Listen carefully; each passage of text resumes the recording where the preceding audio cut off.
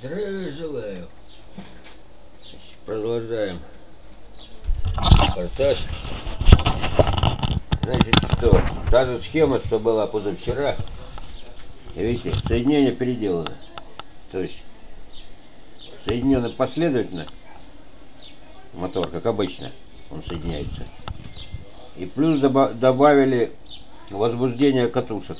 Вот, два провода, вот оно. За счет этого что получилось? Снизилось потребление, потребление, вот, а выход остался прежним. То есть увеличилось КПД значительно, два с лишним, два с половиной раза. Дошло до 450 процентов. Сейчас я покажу, как это работает. Значит, реле 0,1, видите? 0,1 и 0,5 десятых, десятых секунды. Включаем реле. Так.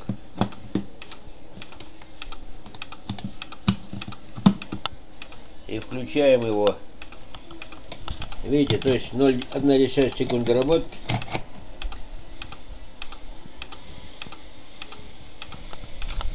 Он сначала, видите, не разгоняется, а потом, видите, пошел.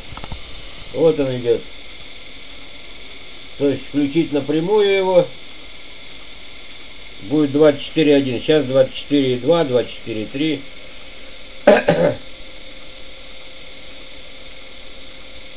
То есть происходит, во время включения происходит компенсация, потому что здесь напряжение ниже, видишь, она работает как импульсами. Вот, дрожит. То есть выход больше входа, однако немного трата идет со, со счетчика всего, видите, медленно очень. Так идет трата где-то 28 ватт, а так только 10. И так шло 14 ватт с этого, с возбуждения. Если возбуждение убрать, то оно будет падать, напряжение будет вдвойне упадет. То есть выход будет меньше.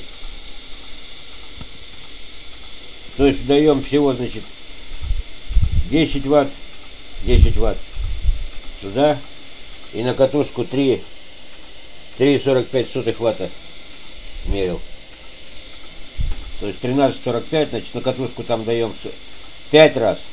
То есть 15. 15 с чем-то.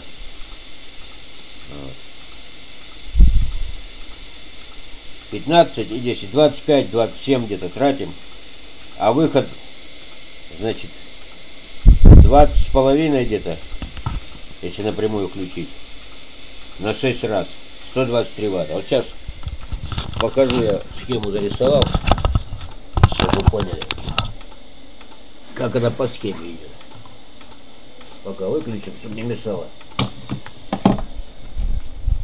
В принципе, все показал, что она работает. Показал выход. Вот она схема.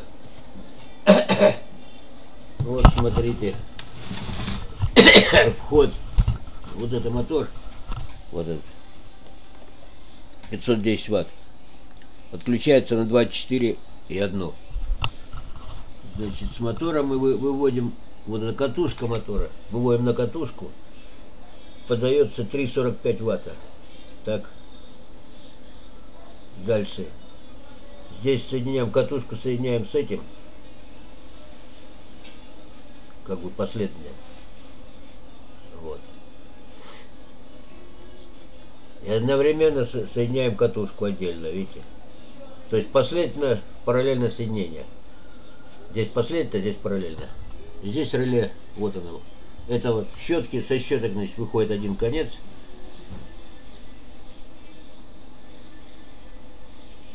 А второй выходит отсюда. Эти вот соединенные катушечные, катушечный и щеточный соединенные последовательно, а уже отсюда выходит и через реле проходит. Отсюда выходит на эту, на щетку последовательно. И плюс еще подключаем параллельно. Для, для чего это делается? Потому что здесь магнита нету. Если параллельно не подключить, то в отличие вот от тех моторов, теряется, значит, в 2-3 раза может доходить до, во время перерывов 0,5 секунды, может доходить до 3 вольта всего. То есть мощность резко теряется выходная. То есть снимать уже нельзя.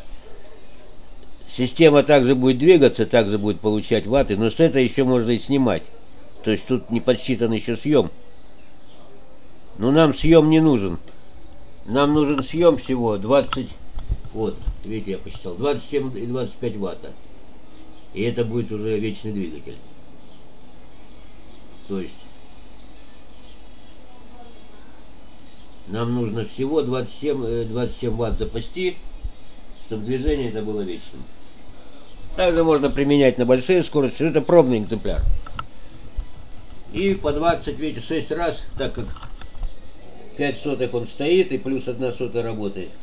6 раз выходит по 25. То есть в сумме 20 помножить на 6, 120, 3 ватта. И тут 27 и 25. Вот. Перемножал. 123. Вот еще раз. 25, 25 помножим на 6. 123. И разделим на 27. 25 ватта. КПД, видите, 4, да и помножим на, помножим на 100. КПД 451 процент. Не считая это на движение, не считая того, что еще выход можно взять отсюда. Выход э, можно будет брать в зависимости, значит,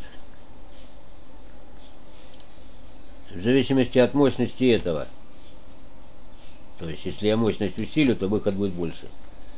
Но в данный момент 27, за 6 периодов 27 ватт можно взять. Пусть он будет работать там, как говорится, чуть меньше. Это 27 ватт, то есть это одну, пят, одну пятую часть всего. То есть одну пятую часть и будет самозапит. Ну, это батарейки я вот готовлю, вот еще подготовил. То есть подготовлю батарейки, будет самозапит. То есть эта схема, это опытный образец этой схемы, значит, годится для любых мощностей, можно мощности увеличивать. Это на 510, можно на 5 киловатт ставить. Здесь увеличивать, то есть все можно увеличивать. И будет мощный вечный двигатель. Вот такие новости.